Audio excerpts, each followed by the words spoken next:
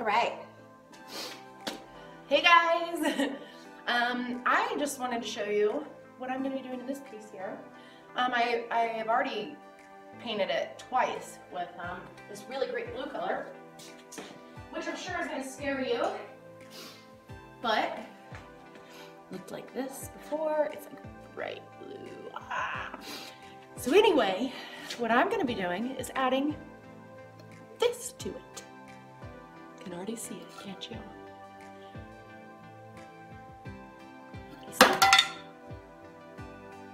Oops. Anyway, let's get started. What do you say? Wanna watch me? Okay. I just wanna say thanks to uh, Jamie Ray Vintage, um, Debbie's Design Diary, Dion, Quita, all those girls are fabulous, fabulous. And you guys are my inspiration. I've not done this before. This is my first time, but I thought I'd try because I'm sure there's a lot of people out there thinking like, can I do this? I don't know.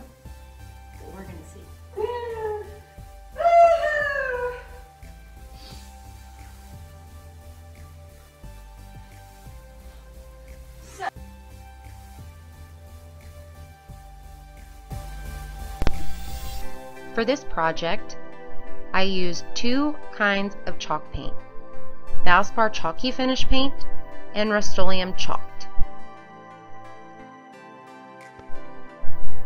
I mixed the pink and blue color to create a purple and alternated between the purple, the pink, the blue, and the white, spraying with my squirt bottle of water to create the drippy boho effect.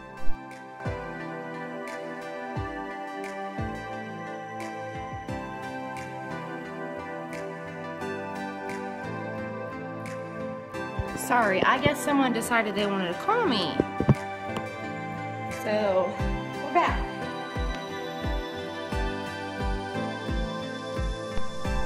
I wanted more of an artistic look, so I kept the pulls on and painted over them so that they blended in.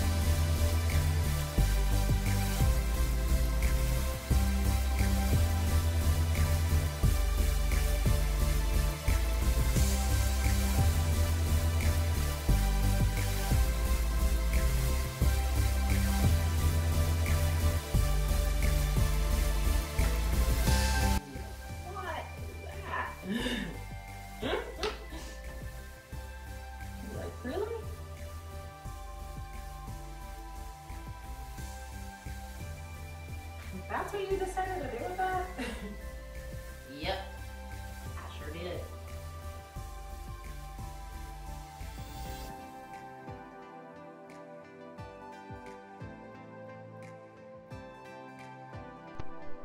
I learned this technique from a video posted by Jamie Ray Vintage. She uses Debbie's Design Diary DIY chalk and clay-based paint.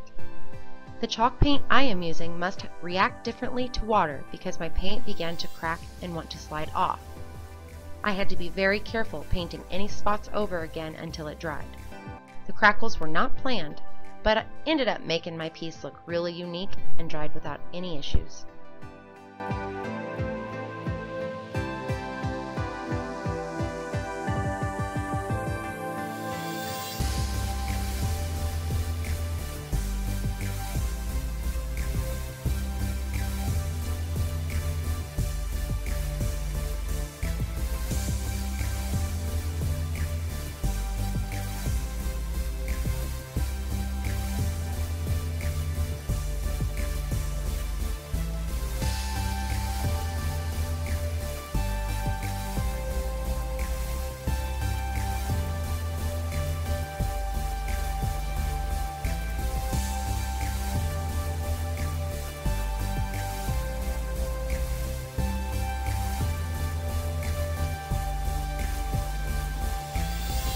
Can see it? Wow.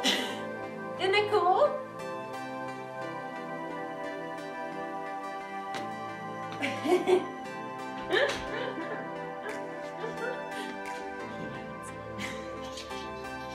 All right, I'm gonna let this dry. I'm gonna do the sides and the top when we come back. Hmm.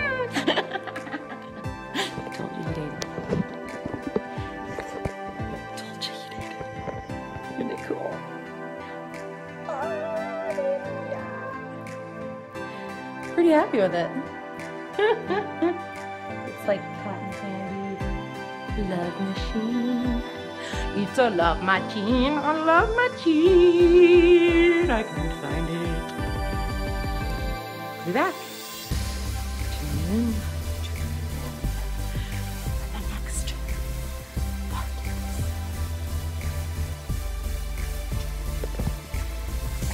Okay guys, I finished the dresser.